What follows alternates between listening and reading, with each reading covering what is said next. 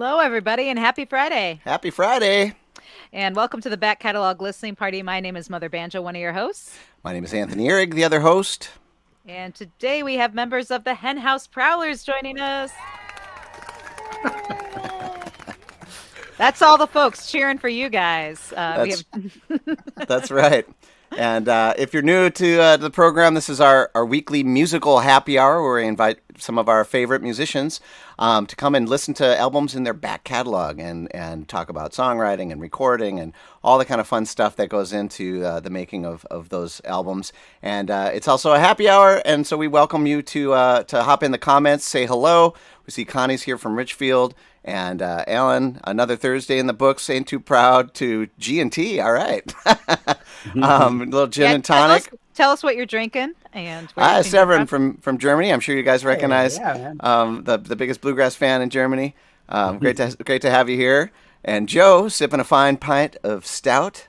Ooh, on the Padelford, down going down the river. Oh man, mm. I'm jealous. Wow. And uh, our good friend Chris is having an Utepils alt beer and uh, we uh, are so glad you are all here. And uh, Ellen, I, what are you what are you imbibing today? You might have heard me crack open a beer uh, during the intro. Um, I'm having a Castle Danger, the, the 17.7 Pale Ale. So, nice. Kind of the last of my summer beer, you know, I'm drinking right now, even though it's a little chilly today.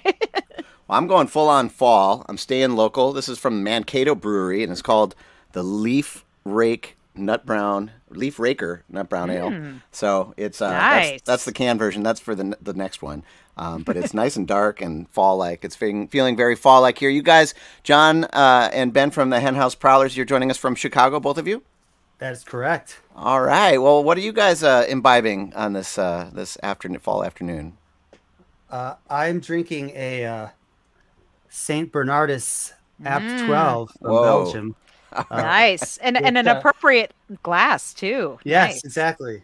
There is uh, no, that's the only way to do it. The only way. Um, yeah. And you know, as as you'll hear as we talk about the album, we're going to talk about uh, it is topical.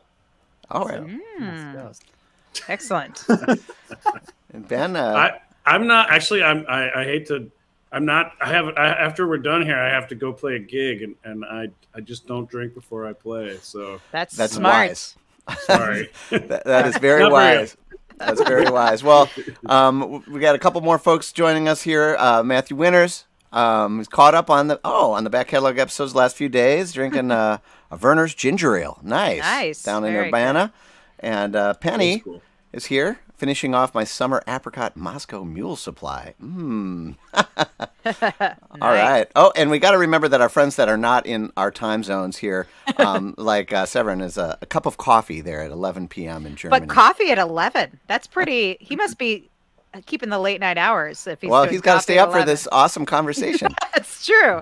um, speaking of which, um, for for a lot of a lot of the people tuning in right now are going to be familiar with the Henhouse Prowlers. If you like bluegrass music, you know who the Henhouse Prowlers are. But um, for those who who may not be familiar with your music and uh, and this album, could you one of you just give a brief bio of the band and kind of what led up to the recording of this album we're going to listen to today? Yeah. Uh, so the band started in 2004. We were we really just started as a uh, a Tuesday night uh, side gig. We all played in other bands, and uh, we formed this as just just a side bluegrass band. We were playing every Tuesday night at a little bar in, on the north side of Chicago, uh, and gradually we started getting better, and people started to come see us, and we started playing more shows and started traveling out of town. Um, and uh, this became our main band uh, by about 2007, 2008 or so. Um, and we were traveling so much, it became too much for some of the original members. So started having some lineup changes. Um, and uh, it, you know, it, uh, it was all good. I, I feel like every time we, we you know, we, we just kept getting better. Um, we kept making albums. That's the way uh, you want to go, I right?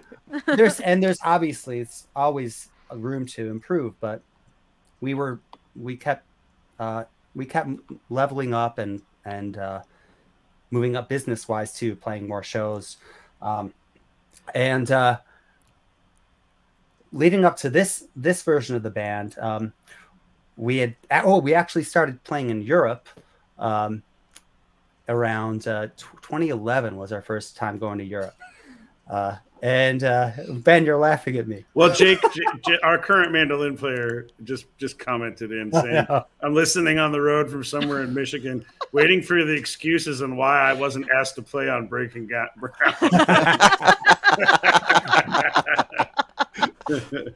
Funny story about that, but we'll get to that. But, go, uh, yeah, go, go ahead, John. Go ahead. So, um, uh, 20, 2011, we go to Europe for our first time. Um, and then uh, our guitar player at the time was a guy named Eric Lambert. Uh, he left the band. Um, you know, he just wanted to do his own thing. We're still great friends with him. Um, and uh, we found we had a guy named Star Moss join the band on guitar. Uh, young kid who was what was he 24 four at the time, 25. Milwaukee born. Yeah. And we we already had Grant Zolkowski on the mandolin, who was also Milwaukee born and raised. Like we have a picture oh, here. yeah, there they are. Oh, wow, nice. Uh, and uh, Dan Andre, uh, who we had known, fiddle, fiddle player we had known, kind of uh, I guess you could say he bribed his way into the band. he, he, he, insisted, that's for sure. he insisted his way into the bribing is a little heavy of a term. Uh, he insisted his way, and and we decided, yeah, sure, we'll we'll you know he he's seems like a nice guy, good good fiddle player. We'll get him in the band. Um, and uh, we uh, recorded this album. well, nice. And this is the crew that recorded the album, yeah. This was the crew. All right. Uh, and it was it was interesting because at the time it was you know Ben and I had been doing this for about nine years at the time, and these guys came in. They were like this young blood coming in. They were all 23, 24, 25. So in a way, it felt like this infusion of young energy. Uh, and a lot of the songs on this album are songs that the first songs we started working on in those early practices with these guys. So awesome. Yeah. Well, I think that probably the best way to to get a feel for that young energy is to just dive right in and start listening. And the first track that we have lined up here is a track called Soul Saver. Um, is there anything you want to say about uh, that track before we listen to it, or do you want to talk about it afterwards? Ben, what do you have to say about this song? I mean, you wrote it. Uh, Like, I mean, this I, I like that we still play this song a lot. Uh, this still on great, the set. Yeah, it's this is a a, a a, song that that makes fun of proselytizing late night television show hosts. Uh, so nice. Yeah. We have a theme going on, uh, yeah, don't we, Ellen? Last week we had uh, another Chicago artist, uh, Susan Werner, who um, talked about her agnostic uh, gospel album. We're, we're, we have like some, I like this. It's like kind of nice thread, yeah. Re- a religion adjacent uh, and religion critical. Um, all right, well, let's give it a listen, and uh, and and then we can talk a little bit more about it. This is the Henhouse Prowlers, Soul Saver, here on the Back Catalog Listening Party. Soul savers, savers souls for money, promise and redemption in the land of milk and honey. Soul saver, please reveal your cause. Soul saver, I think you are the worst that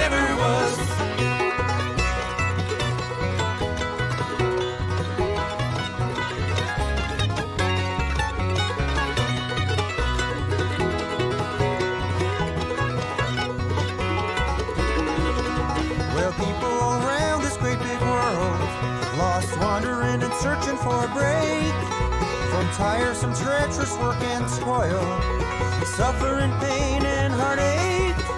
Along comes a man we've never seen with promises of pleasure and relief. But be aware, I'm warning all you sinners. The self-proclaimed soul saver is a thief.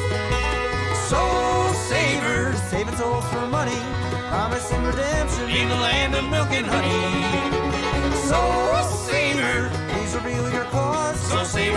I think you are the worst that ever was.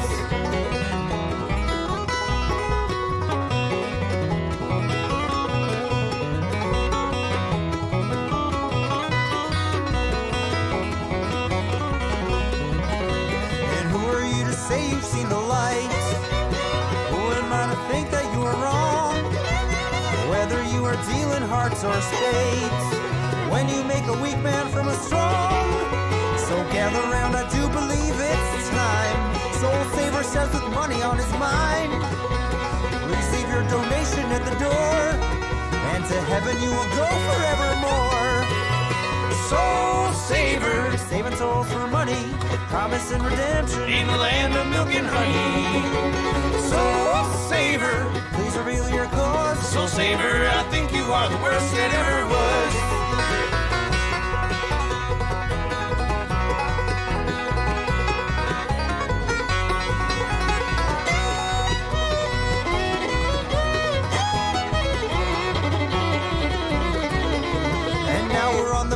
Second coming.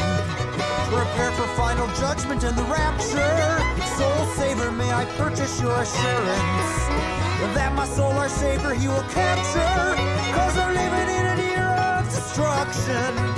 Choosing luxury over reduction. Who am I and do I have a function? Soul Saver, I'll yield to your instruction. Soul Saver, save saving souls for money, promise and redemption in the land of milk and honey. Soul Saver, please reveal your cause. Soul Saver, I think you are the worst that ever was. Soul Saver, I think you are the worst that ever.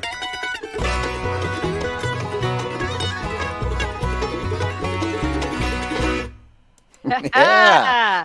oh right. yeah, the Henhouse Prowler is kicking off our weekend with Soul Saver from their 2013 release, uh, Breaking Ground, and uh, we saw some, you know, some of your band members chiming in here earlier. Um, uh, Dan saying. Um, Responding to what you were saying about him insisting being on the band in the band, he said, "You can say it. I forced you," um, and uh, some nice uh, comments uh, from them. And you know, mentioning the the mandolin too on this record um, uh, is when that break happens and the mando comes in. That just like uh, sealed the deal. So um, I want to ask a little bit about about the arrangements, uh, especially on on that song. Um, when you brought this song to the band, John, uh, did you have a vision for how it would be, or do you guys just sort of play through it and? Uh, I, yeah, it's funny. You know, we when when we bring songs to the band, they so often wind up they evolve so much. uh, you know, they the arrangements have the songs take on, take on a completely different form. Um, I remember bringing bringing this song to the band and thinking it could be a burner like it is, but I also kind of envisioned it as like a, a slower, bluesier, almost like Stanley Brothers kind of Mm. feel. Um, but uh, it just worked as a as a burner. It's got that fire and brimstone energy Yeah. and 20 something energy in there too, man. Those are some hot hot licks in there. for sure. It's funny. I I I'll be honest. I probably haven't listened to this album in seven years because I don't I don't listen to our albums after they're done really. But that was interesting to listen to that and didn't realize that we split the so, my solo break with Dan. And it's weird the memories that come back. I remember working on this song in the basement of my apartment. Uh, or my apartment was in the basement, and I remember sitting around uh, the table and working out the harmonies for this. It's funny. I remember the the really high soul saver that's kind of like a howl on top of it. Working that out, uh, just listening to that brought it back. It's funny. That's great. That's one of the kind of the nice things about uh, listening back to your stuff, and you know, after a certain amount of time has passed, you can really ingest it in a certain way. One of the ideas behind the show is not to listen to song, like stuff that just came out or is coming Right. out, right? Because you don't really have that that kind of perspective. Perspective, yeah. yeah. So, have you? Would you say you said this is still in the set? Like, is it is it a lot different? Is it pretty much the same? Has it has it have you changed uh, how you play it now? This It's one not a lot different. Yeah, this one is pretty much kept to the same form. You know, Nice. maybe the particular uh, solo, like the banjo solo or the guitar solo, might be in a different place, but it's generally the same. We s you know, we still have the mandolin come in with that. Yeah. Outro. Yeah. Yeah, it used to be fiddle for a while. I think when we for a while we didn't have a mandolin. Yeah. And Dan would Dan would take it out on the fiddle. Uh, but but yeah, it uh, far you know you'd you'd absolutely recognize the song if you heard us play it live now. Yeah. Well, and you know, it's something that I appreciate about your band is that like it's pretty common to play gospel music, let's say in bluegrass, you know, Mm-hmm. and you guys definitely know the idiom, um, but then you bring in your own um, kind of perspective on it. So, uh, so John, that maybe a question for you in that tune. Um, were you thinking about like uh, you know the kind of I don't know the juxtaposition of that type of um, c- condemnation with uh, with the, the kind of the traditional bluegrass gospel message? Yeah, for sure. It def like I th- I think that's where I I heard it initially as possibly having that of like a slower, bluesier, uh, like I said, like you know, you know Stanley Brothers kind of feel. Um, uh, you know, where it was it it would it could it could sound more uh, more gospely. Uh, but And there's Yeah, probably people in, in at some bluegrass festivals who just hear Soul Saver and they're like, "I love that." that. there's always a few uh, few like that. Uh, Maybe if they've only heard it once. but- Well, here at the Back Catalog Listening Party, we we are very deep listeners, so we're listening to all those uh, all those lyrics. and yeah, and, and I fun. and and we we're, we totally like to geek out on on things like process. So one and one question I love to ask is, where was it recorded? Was there an engineer or a producer, or was it just you guys? And did you you know do you did you isolate and play to a click, or did you all sit in a room and, and, and rock it out? Like what was the what was the process in this uh, with this record? Uh, we recorded it at Ivy Lab Studio in Chicago, um, which at the time was uh, Sheridan and Irving Park Road, Mhm. roughly, uh, for those who are familiar with Chicago. Um, we had uh, no, yeah, it's, it is not. They moved, and then since then are even are no more. Um, Chris Harden was the engineer who currently lives in uh, or around Denver, Colorado. Uh, we had um, Greg Cahill producing All right, uh, of Special Consensus fame. Who is uh, episode number what was it forty nine here? Yeah, we Oh, had no. Greg and Oh, gosh, yeah. Special C on the show. What, what so- album did you guys go over? Um, uh, Roads and what was it? Oh yeah, River, uh, Rivers and Roads. Rivers Yes. and Roads. Yep. Yeah, nice. Yep. Great album. Anyways, Speaking of which, I thought in one of the sh- photos that you shared, I, I could see Greg There in he there. Is is. that Yeah. Greg? In Yeah, the, on the Wow. see if I can Greg. S- ma- make That's the a little only bigger. photo that I could find that I had. Uh, He was- Half of his face. I was gonna say he looks like he's trying to not be in the photo. He's like, I don't know if I want to be captured on film. He saw the camera come out, and uh, so is this? Uh, is this? Yeah, is this bringing him in uh, on one of the tracks then? On this photo. he, he he played. Did he play on any of the tracks? He played on a couple of the tracks. Uh, I think he? we'll hear we'll hear at least one of them that he played on. Um, nice. Yeah.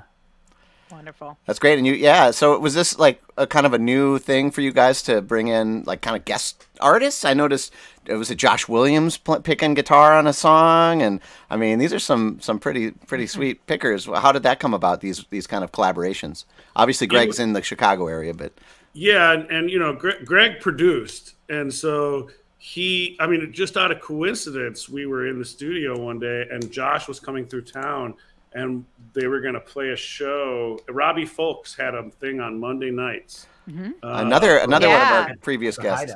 oh yeah, Yeah. awesome, yeah. Yeah. and and so Robbie had Josh and Greg coming out that Monday night, and we were in the studio, and I think I called Greg and was just like, "Hey, I know Robbie's, co- or I know I know Josh is coming into town. Can you get him to come and sit on our album?" He's like, "Sure." Uh, so it wasn't it was not a like months before planned out thing. It was like perfect timing kind of thing. And then Josh came in. I don't know if you've ever met Josh Williams. I've like seen him perform a lot, but the coolest freaking cu- cucumber on the planet. Uh, and he just kind of like, you know, whooshed into the studio and, and left us all kind of aghast. That's how I remember it. Just like, oh my God, this super tall, insanely talented guy who sat down and took one solo and made it. and he's like, well, I, you- what do you guys think? And he's like, uh, you know, I could do it again. And we were like, sure, do it again. But we used the first one he did. Like, I mean, it was, it was, We just want to hear you play. Yeah, I was gonna Yeah. say you just made him do a lot of passes just so you could watch him. it was amazing. right on. Well, um, it wasn't it wasn't quite the order that we had it in, but you know we happen to have this track, um, Ravenswood Getaway, that I believe features his hit that solo, right? And uh, and also Greg Cahill on this one as well. Is that correct? Is Greg Yeah. on this? Is he? Yeah, yeah, yeah. They both were on this one. I'm terrible about this stuff. Um, Let's see. If, oh, go ahead. no, I was just, no. I, well, I was gonna say Josh's. I think is the second solo on this one. Mhm. Uh, yeah. Because it there's seem- the Star takes one too, just so you can differentiate the two guitar styles. so he takes first solo, and uh, And Josh on the later second. On. Uh, no, Star, uh, Josh is for Josh is the second, uh, like second after the original banjo initial banjo solo.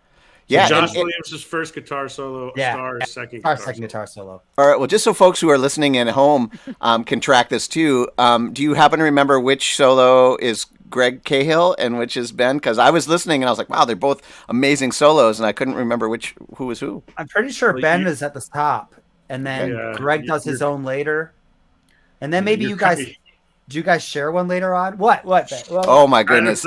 Banjos banjos coming out our ears here at the back catalog listening party Uh, this is a this is a fun one this is a great way to um, to get your friday afternoon going we're going to listen to the henhouse prowlers ravenswood getaway here on the back catalog listening party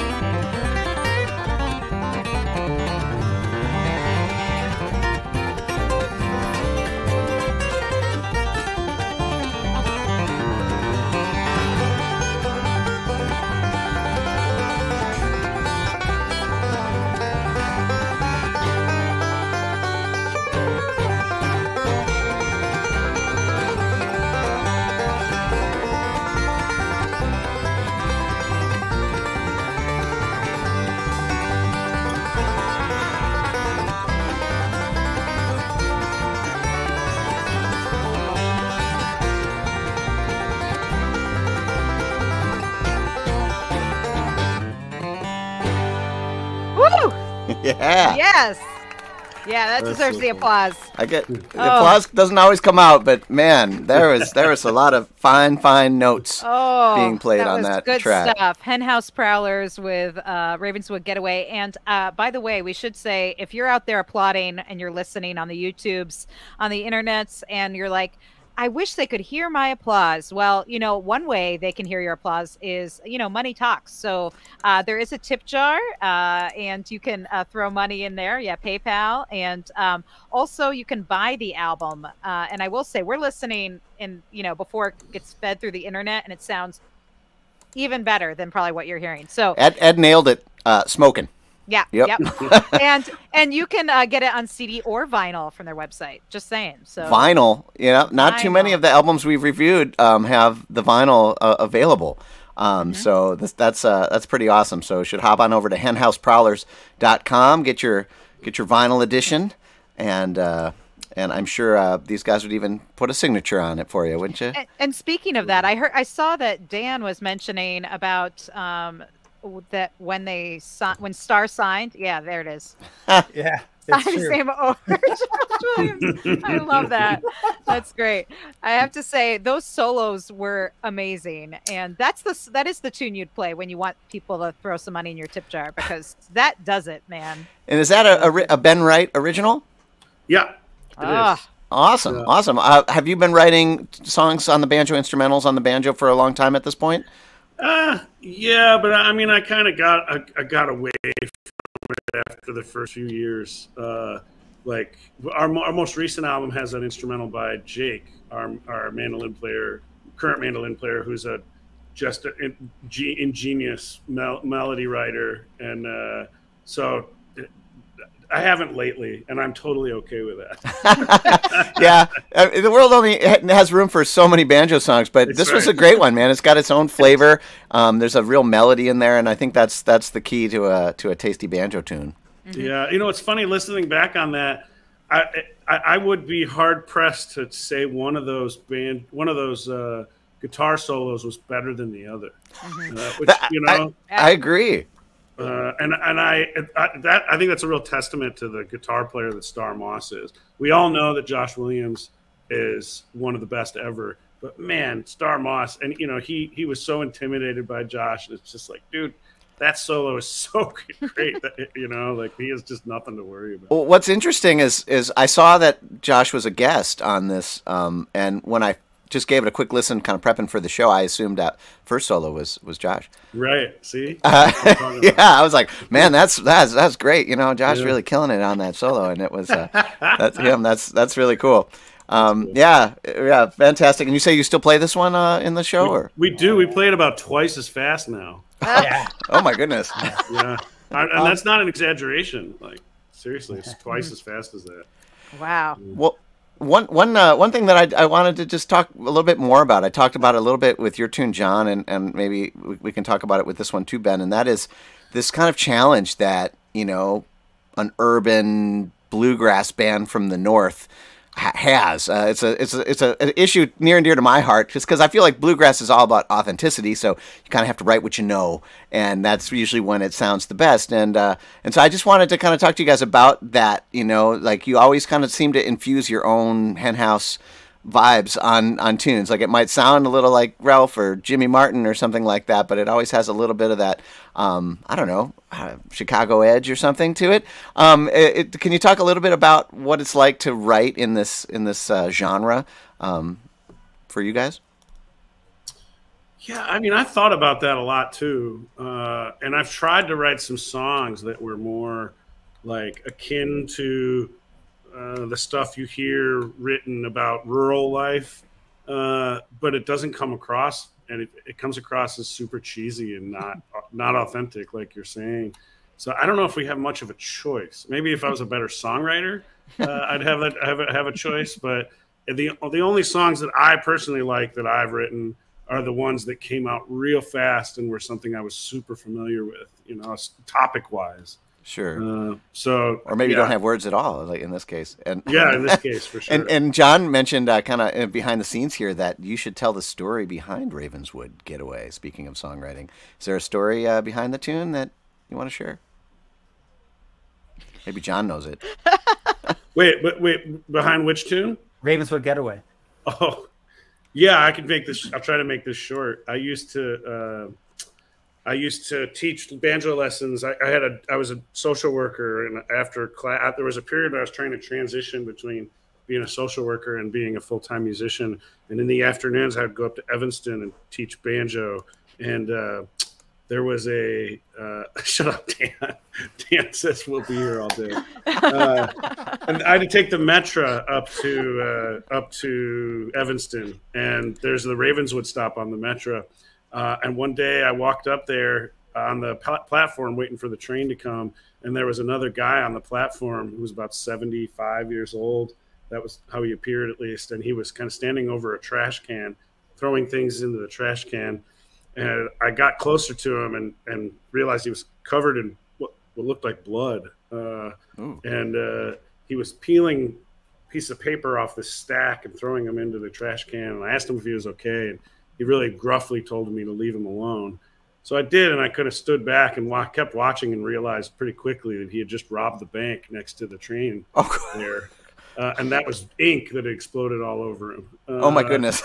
and uh, right about when I realized what was going on, three cop cars screeched to a halt, and all the cops started running up. And he, the guy, moved away from me, uh, away from where the cops. So I was in between the cops and this guy, and they pointed their guns at me. Oh my Uh, goodness. and, and they were like, I put my hands up. I was like, and I, I remember very specifically, I put my hands up and I went, yeah. uh, and they, they got him.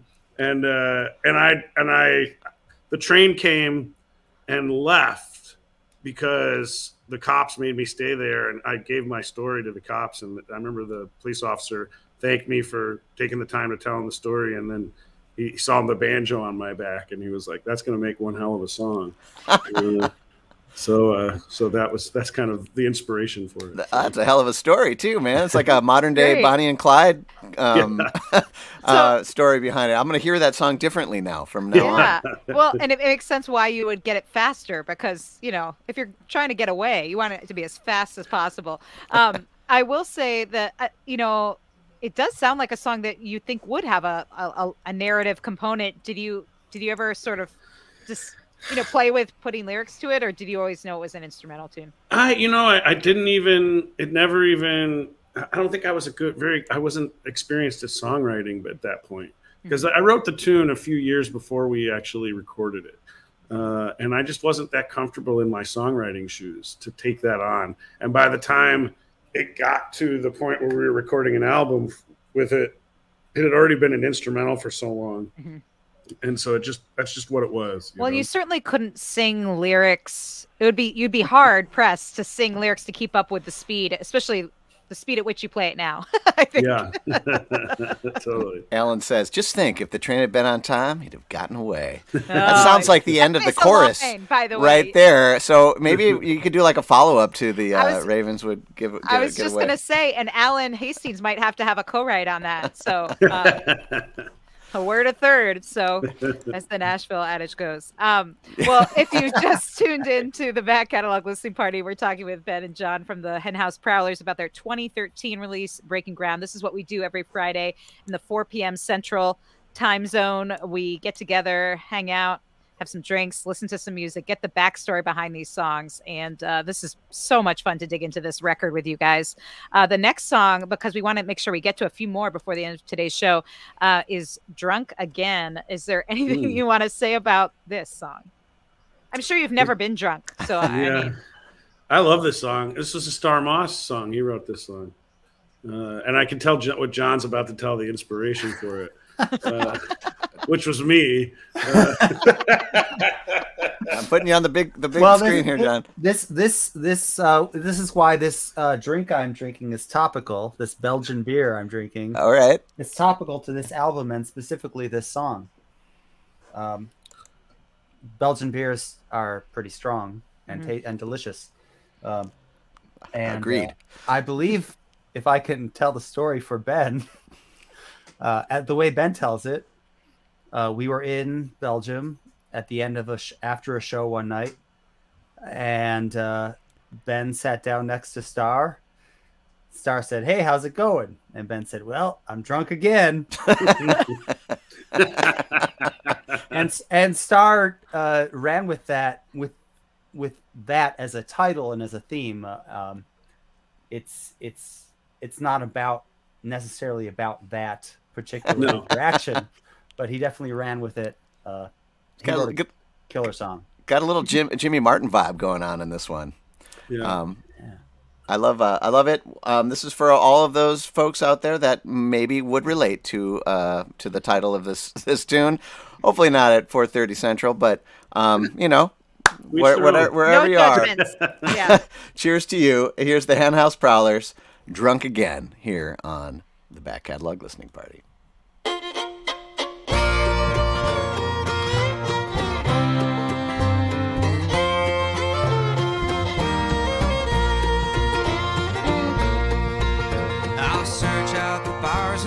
Sorry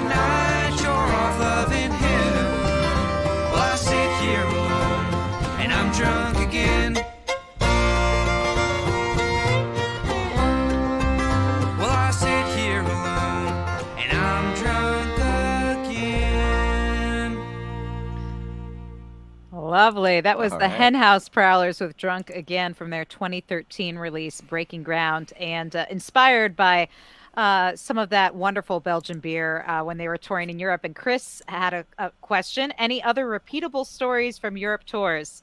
Interesting to bring bluegrass to them. And uh, he said, Did you get a chance to go to Val-Dieu Abbey for some Belgian beer? So that's a couple that is. questions. Yeah, where's Val-Dieu? Do you know, John? I don't, I don't know. It doesn't ring a bell.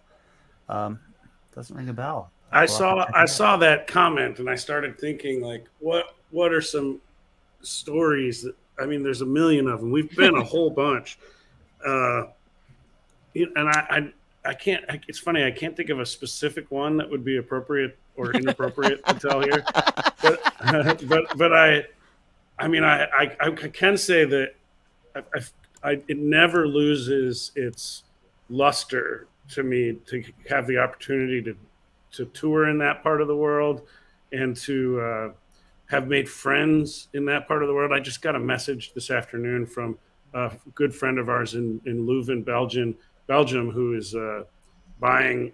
They're they're buying a Evelyn's buying a new house, John, and wow. uh, and like they're like we can't wait to host you guys and we miss you. It's been a couple years since we were able to go back, and I, we used to go at least once a year. And uh, you know, it's nice to be touring again. I can't wait to get back to Europe because there is this sense, palpable sense of appreciation for American music over there. And you go and you play, and people are just kind of like they just love the music we play. Uh, some of the best responses we've gotten is in Spain, believe it or not.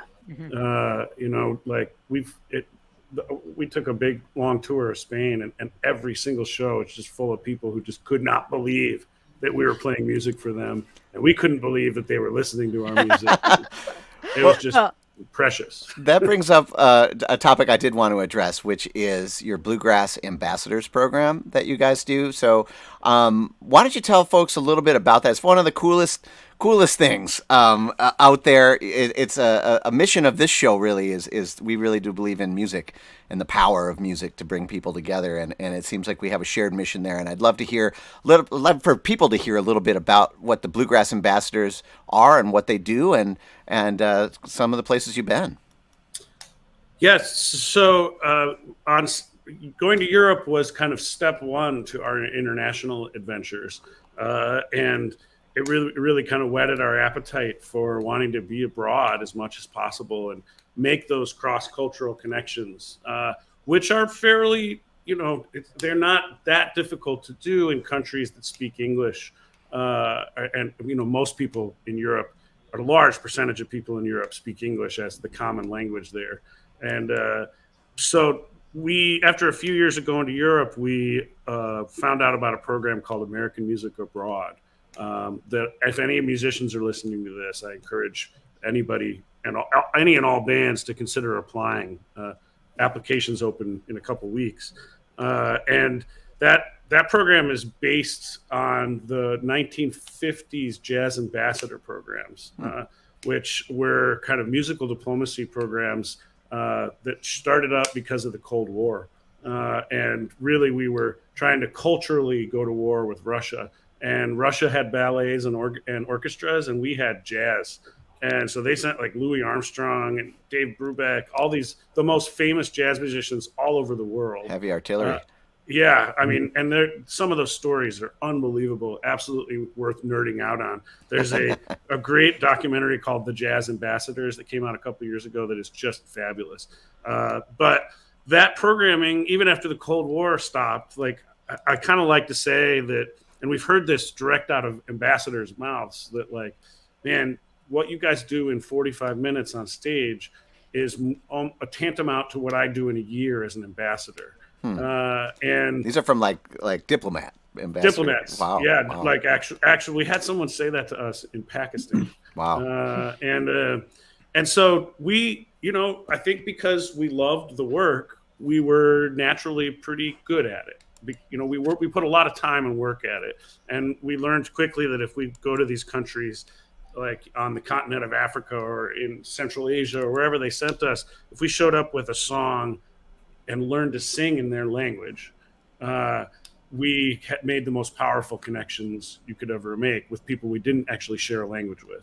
wow. Uh, and and we realized quickly that these were these opportunities we were building to come home with these experiences and this knowledge and this music and share it with both kids and adults alike back at home. And that's what Bluegrass Ambassadors is. It's a we started a nonprofit to uh, use bluegrass as kind of this foundation to hopefully connect people from across the world. Uh, and so we do school programs. We're going into school next week, uh, and we also we did a program in the Czech Republic a couple years ago that was uh, that was kind of our first non-State Department funded program, and we want to continue to to do these these cross-cultural collaborations and educational programs with people all over the world. It's pretty rewarding stuff. That is so cool. awesome. Um, if folks want to learn more about the Bluegrass Ambassadors program, they can go to bluegrassambassadors.org. We have it on the screen here, and I'll toss it in the comments as well. Thanks for sharing that. I think I think that's the that's such a cool cool thing, and it's so neat that you guys just took the reins on this and made Thanks. it happen. Yeah, very, very cool. And um, one thing I was noticing when we were listening to the the three songs we've heard so far from this record, Breaking Ground, is that it's kind of although it's all generally bluegrass. Uh, they all have pretty different flavors. Uh, you know, there's one that's sort of, you know, sort of like the gospel bluegrass, one that's sort of the rip roaring instrumental, and then uh, as as uh, Tony said, more kind of Jimmy Martin style tune. And uh, this next tune is uh, a little bit different that we're going to listen to. It's a cover. Oh. So, um, is there anything you want to say about why you decided to turn this song, not known as a bluegrass song, into one? I mean, I, because Dan Andrew was in the band, uh, and, and, he, he Dan Andrew has a vocal, a unique vocal power. I mean, he just he can own something like this, and uh, and it's just it's a sight to behold. Like he's he's just a force of nature. And so I remember when he brought this, he was very trepidatiously like, "What if we do this song?" And I was like, "Yeah, let's do it," because I mean, when else are we going to be able to do something like this? Guys that can sing with that much soul, uh, in, in, that very specific soul way, don't necessarily play bluegrass all that often. So. all right, and uh, let's just give it a listen. I think uh, the the song speaks for itself. This is the Henhouse Prowlers doing their take on "Ain't Too Proud to Beg" here on the Back Catalog Listening Party.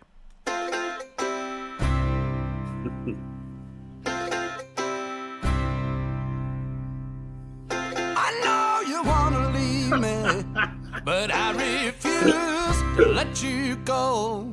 If I have to beg, and plead for your sympathy, I don't mind, cause you mean that much to me. Ain't too proud to beg, sweet darling, please don't leave me, girl. Don't you go.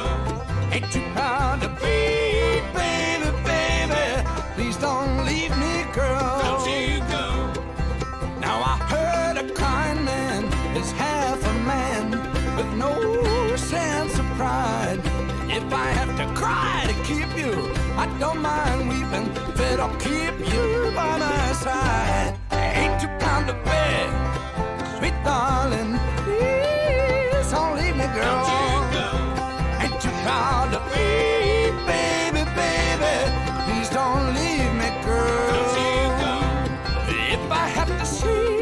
doorstep all night and day just to keep you from walking away, at your friends laugh, even this I can stand, cause I wanna keep you any way I can. Ain't too proud to beg, sweet darling, please don't leave me, girl. Ain't too proud to be,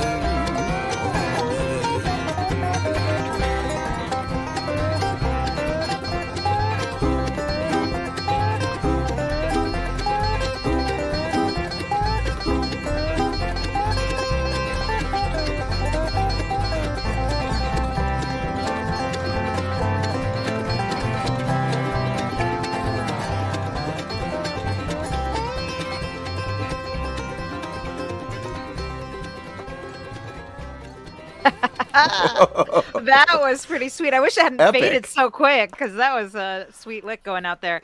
Yeah, Um, and I don't recall a, a dobro player Wow. being in the band. You- That was Anders Beck of Ah. uh, Greensky Bluegrass fame. Ah. well, that was so Yeah. cool. So cool. And I have to say, I, I think that song right there by the Henhouse Prowlers, uh, their version of Ain't Too Proud to Beg, shows why they are uniquely positioned to be bluegrass ambassadors because they they uh, they can uh, translate music into so many idioms. And that one I think is cool because you get to hear where Motown and bluegrass have some of the same roots in the blues. You know, you hear those those bluesy licks and I like that um, little tag at the end. They were quoting a dun- Yeah. that was that was nice.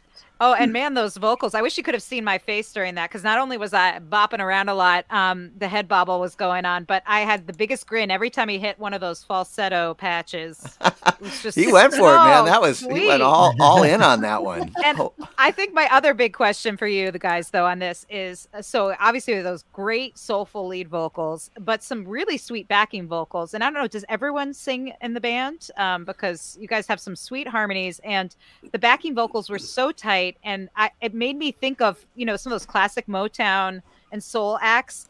They had the great, you know, like Gladys Knight had the pips, right? You know, and they not only had the sweet backing vocals, but they had the great moves. And I want to know have you Oh. ever considered what the bluegrass sometimes has some choreography? You know, if you use like a single mic or whatever.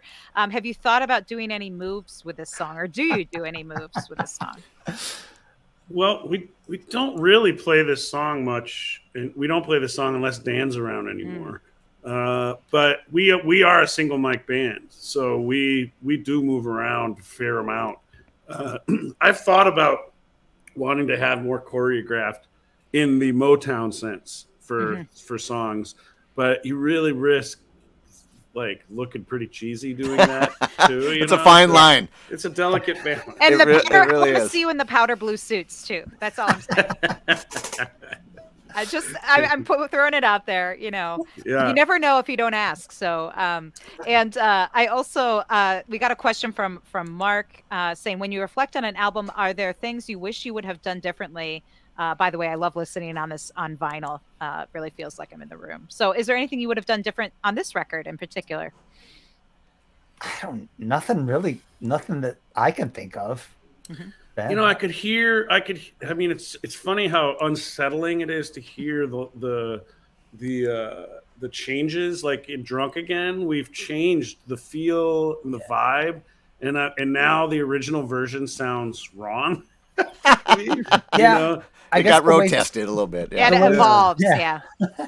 Yeah, exactly. The way songs have evolved, like Ravenswood Getaway, we play uh, about twice as fast as we did Mhm. on this album, and uh, and Drunk Again, we play about half the speed that we did on this yeah album. and and you know and cur- our current guitar player who is also just a, a dynamo vocalist he sings drunk again and he's changed it i think intentionally Yeah. to make to get some ownership over it. And because it's the way i play it now and listen to it i love it that way. We actually i actually played with star a few months ago and we did drunk again and i like i kept looking at him the way i look at somebody in my band when they screw something up i'm just like That's not how it goes that's, anymore. wrong. that's wrong. And it's like I'm telling the guy who wrote the song internally, it's wrong. Like it's just funny how that stuff works. You know? Yeah. yeah when you get used to it and and uh, and he and mark mentioned uh, the vinyl so once again um, i want to one more plug here for um, going out and getting the album you know it uh, they have it on vinyl um, which is which is really special. They have it on cd and uh, you know in this day and age look at that. In this day and age of uh, of of you know streaming music, uh, musicians aren't making much from from those those plays, um, and so just one purchase of a vinyl record is like listening to to them for like five years or something crazy like that. So um, a little goes a long way. So head on head, head on over to the henhouseprowlers.com and uh, and and show them some love and uh, and get yourself a, a vinyl copy of this album. And when you're at that uh, website, you're going to want to both flag the website, follow them on the socials, because I hear you guys have a big announcement coming on Tuesday. Is that right? So, Yeah, Yep. yeah. Yep. and We so we're not supposed to talk about it yet. I but- know, but but we can tell you that show, there is big something show. coming. So that's Yes. the announcement that Yes. there will be an announcement on exactly. Tuesday. So while you're at at their website purchasing uh, the music, you can sign up to their email list, and, and I bet you they'll you'll be the first to know um, about what that uh, what that announcement might be. Yeah, and then maybe you can um, uh, s- also check out upcoming shows and um, also see those these songs that we're talking about performed live in all the different iterations uh, that you can enjoy them. So Yeah. um, I had one question too about the since you showed it on vinyl, the album artwork. Um, maybe we can get it back on the Yeah, screen if you still show have it. it, Tony. Mhm. Is that um, this is such a cool cover? Obviously, you have the the hen there, but the the roots coming from the Yeah. eye is so cool. Who did this artwork? It's beautiful. Uh, Liz was the- Burr, right? Yeah, exactly. Liz Burr. Um, she's just a very talented artist. Um, yeah look her up she's fantastic and she she does the art for a, a festival we play a lot down here called shoe fest that's a very family like family oriented but still rockin' festival and she just i think one of the area's best artists for music stuff she's fabulous And you can get this artwork in big, uh, big format if you get it on vinyl. So uh, definitely wall art version. Chris is getting wall the art worthy. vinyl. Yeah, Good for you, got it. Chris. All Good right. on you, That's man. right. It's gonna sound good. Um, and it is. This is the, the, the fastest fastest hour of the week because it's man, right. it's so much so much fun. I can't by. believe we're uh, we're approaching uh, the end here. Um, But it of the- sounds like uh, folks might be up for one more. I don't know. if what if, do you if Ben think? Ben and John, we do have one more track we could listen to if you guys have have the time. sure I got time. All Okay. right. All right. Well, the last track we have um, lined up here is "Den of Sin." ah, um, which now I'm, I'm wondering it could go lots of different ways. given all given all the songs we've heard today, uh, anybody want to me- say anything about this tune here before we dive in? Yeah, can I can I say this. John? Uh, uh, so Grant Zolkowski, uh, he and Star Moss grew up as best friends, and they when they were both in the band in the band together. It was weird. They had this like secret language that they spoke to each other, uh, but they they both were super talented and kind of reserved, quiet guys. Uh, and in the period where they were in the band, we played this place down in uh, Evansville, Indiana, uh, called Lamasco. Uh, and it's this. It's a great place. It's kind of just a bar. The owner is named Amy, and she takes really good care of bands. And was paying us way better than most bars like that typically would because she's such a great community person and knows that bands struggle and gave us a place to sleep. And you- actually, now there's a place in the bar where bands can sleep. But the time we used to, after the show, go back to her place.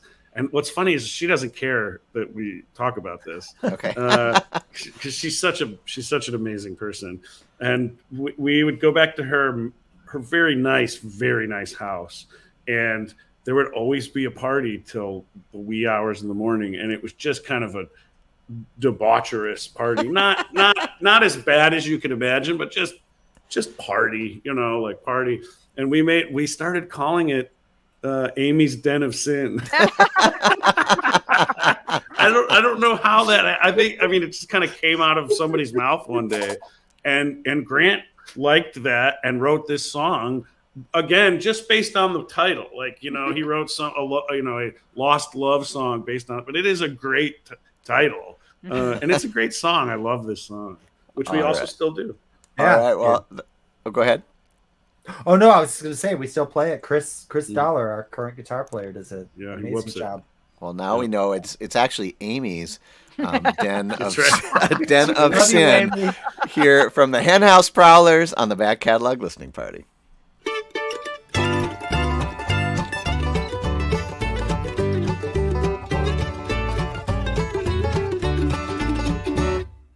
I used to call this house a happy home. Just you and I, no need no haunt to roam. I guess I held you up too high, sitting there on your own. Call me a fool, but I thought that's where you belong. Well, I told you I had to go, but it wouldn't be long. I gave you extra kisses for the nights that I'd be gone. When I was gone for the weekend, but the verdict is in. This ain't nothing more than your little den of sin. The bay put out a call for willing men. There's a dock downstate that could use a hand of land.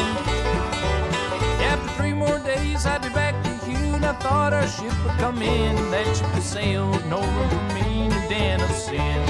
Well, I told you I had to go, but it wouldn't be long. I gave you extra kisses for the nights that I'd be gone. When I was gone for the weekend, but the verdict is in. This ain't nothing more than your little den of sin.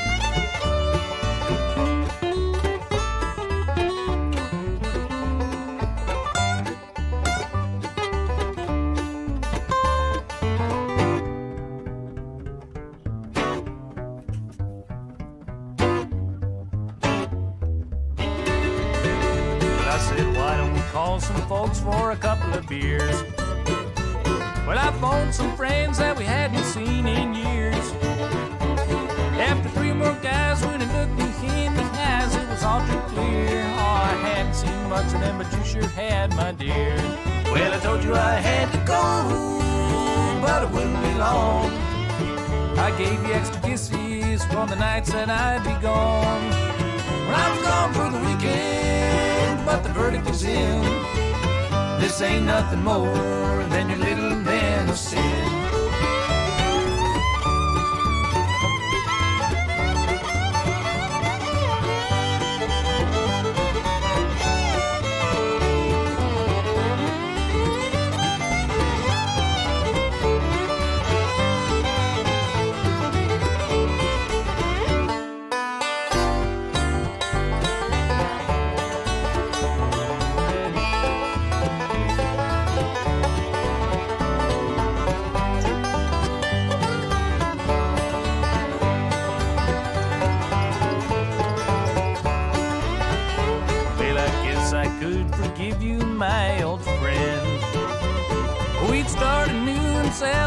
what we can.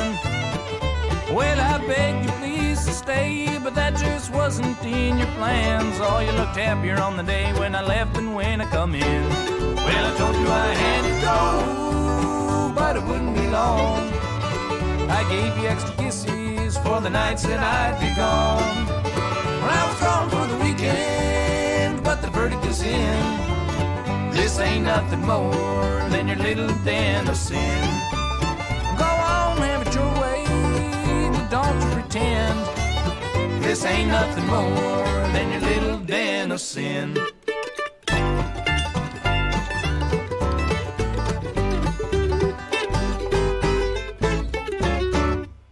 Ha ha. Uh, the Henhouse Prowlers with Den of Sin from their 2013 release, Breaking Ground, which we have been revisiting today with two of the members today on the back catalog listening party. This has been such a fun hour. So much fun. Um, so much Yeah. fun. Thank you And guys. So great to have you here and to dig into this bluegrass music, kicking off our weekend, right? And for those of you who are new to the show, or or who just tuned in, or who are regulars, make sure to like the episode, give it the thumbs up on YouTube to direct more bots to Henhouse Prowlers. And if you uh, if you haven't already, subscribe to our YouTube channel to be notified of what's coming up next. And for the bluegrass fans out there, in a couple weeks, actually, Good Morning Bedlam will be on the show, and they Nice. Actually are playing tonight for the Twin Cities folks at 8 p.m. with Barbaro, one of our past guests. So, uh, some great uh, bluegrass music happening here in the Twin Cities and on back catalog. And uh, next week, because we play all kinds of roots music on the show, we have Austin, Texas songwriter Rebecca Loebe, who was a contestant on The Voice, but she's had a long career being just a folk singer songwriter. So, I, I think we're going to have some good stories uh, with her That'll next week. So, that'll Yeah. be fun. Um, but mainly, we want to thank Ben and John for being our guests. And uh, Thank you guys for being such great hosts. You guys are really good at this. Yeah. oh, thank you. Well, After it- what 80, 80 something episodes, we're learning something. I don't we're, know. we're music nerds, man. We we just love this, and and uh, we love your music. So it was uh, it was great. It was it was so much fun, and um, yeah, we appreciate Folks you, and we appreciate all you out there, Severin. Um, you know, have another cup of coffee, and uh, great to see you, Matthew, and everybody else who is out there watching. Um, we started this during the pandemic when we couldn't see our friends and couldn't talk about music or see shows. And we had so much fun doing it every week um, that we decided to keep it going. And one of the ways that we did, we were able to keep it going because we have to pay for the StreamYard service and other things like that is we started a Patreon. Um, and we want to give a special shout out to all our patrons who are out there. Thank you all so much. Penny, Ann, Alinda, Bevan, Connie, Vaughn, Alan, Chris, Alex, Becky, Galen, Peggy, Joe, Jim, Beverly, John, Fred, Tim, Sarah, David, Jocelyn, Court, Matt, Steve, Mark, and the Homestead Pickin' Parlor right here Ah. in Minneapolis. Um, thank you for supporting the show and, and if and if anybody else there wants to support the show you can hop on over to patreon.com slash back catalog listening party and uh, we'll uh, you'll be able to to hear all the guests we have coming up. We have special perks like after parties uh, with the guests and even some live stream concerts and uh, and maybe some merchandise in our future. After we had susan werner on last week she we stayed after the show for a few minutes and she's like i got some ideas for you. You know she was talking about headphones and tote bags and all kinds of stuff um, and it got us really excited. So uh, if you want to learn about where we go with all of that head on over to patreon.com slash back catalog listening party um, and make sure you head on over to uh, the henhouseprowlers.com as well and uh, and and, And get- watch Check out the the- high 48s too, right? Oh, yeah. Yes. thanks right. fellas yep the, I the know, high I, I 48s know too you, you, you, you won't do that, but but I will. If, if any of our fans are listening, they should check out the high 48s. They're For awesome. sure. Thanks, Ben. That, well, the first time I met you guys, it was I, I, I figured it out. It was 2010. It was a long, long time ago. We played a show together, High 48, Henhouse Prowlers, and Liberty Bluegrass. Uh, Yeah, Played a couple that shows. Amazing theater in Oshkosh. Is that where? um, uh, Baraboo, Yeah. Baraboo. Baraboo, the Al Ringling Theater. Like maybe we can make that happen again sometime. It would be really Yeah, great to see you guys in person. I'd like Um. And uh, and again, make sure to watch for that Tuesday announcement Oh, from the that's Hen House right. Prowlers. Yep. Big show. Big show. All right, folks. Well, thanks again for joining us for this wonderful hour. Thanks again to Ben and John and the Henhouse Prowlers, and we'll see you next week on the Back Catalog Listening Party. Cheers. Cheers. Thank you so y'all. much, guys. guys.